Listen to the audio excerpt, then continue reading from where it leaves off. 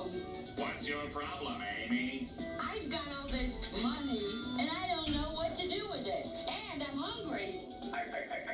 Who's there? Where's that coming from?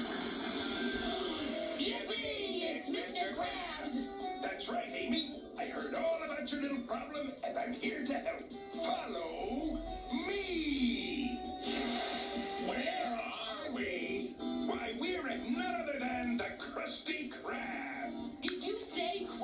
Krusty Krab? That's right.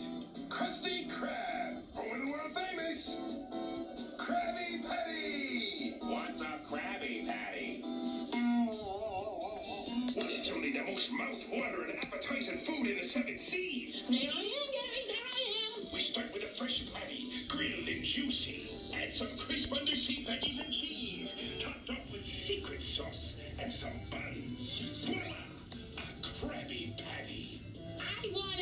Krabby Patty.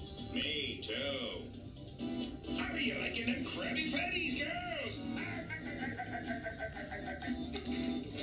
Look, Gary, there I am again. Look. Two more satisfied customers. So why don't you come on in and have yourself a Krabby Patty